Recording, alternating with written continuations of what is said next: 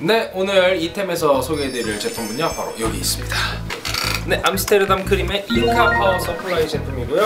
가격대는 13만원대 굉장히 저렴한 가격대를 가지고 있어서 처음에 pedalboard를 소규모로 구성하실 때 아주 효과적으로 선택할 수 있는 제품이죠. 거기다가 크기가 다른 pedalboard의 effector들에 비해서 뭐 거의 뭐 4분의 1까지는 아니더라도 3분의 1 정도 되는 크기밖에 안 되기 때문에 아주 pedalboard에서 자리를 차지하지 않고 파워를 장착하는 데 있어서는 가장 좋은 선택지가 될 것 같습니다 이 Amsterdam Cream의 Inca 파워는 6채널 딱 6구로 제작되어 있고 각각 DC 9V 100mA의 전류를 공, 공급을 하고 있습니다.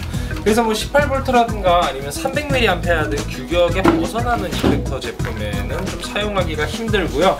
모든 출력은 일반적인 effector 전원 방식인 센터 마이너스 방식으로 제작이 되어 있습니다. 그래서 어, effector가 아직 많이 필요하지 않은 상태에서 이렇게 사용을 하시게 되면은 충분히 효력을 발휘하실 수가 있게 되겠죠?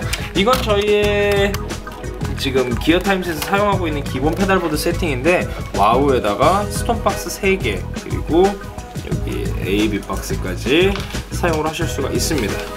보통 여러분들 뭐 사용을 하실 때 distortion 하나 뭐 디, 저기 overdrive 하나 그리고 delay에다가 modulation 계열 하나 그리고 페달 하나 이런 식으로 사용할 때 충분히 사용을 하실 수가 있겠죠?